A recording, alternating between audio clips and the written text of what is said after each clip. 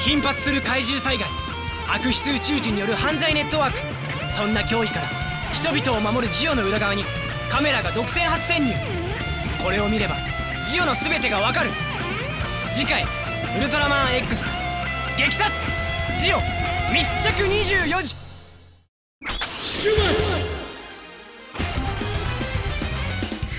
ウルトラマン X 第16話、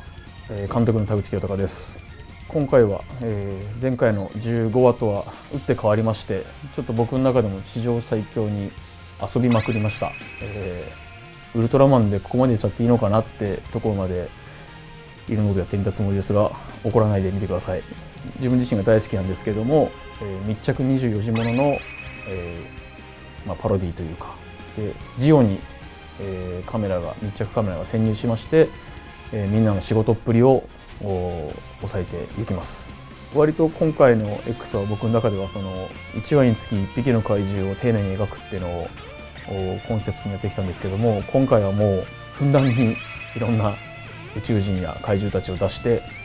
えー大暴れさせてジオのみんなが、えー怪獣や宇宙人たちとどう普段戦っているのかっていうのを密着